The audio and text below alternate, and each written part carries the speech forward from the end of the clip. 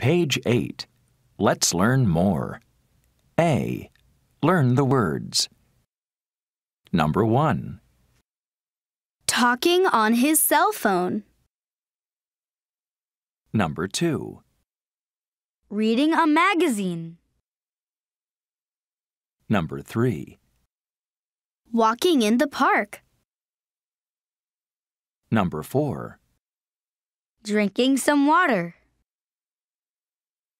Number 5. Playing a game. Number 6. Sitting on a bench.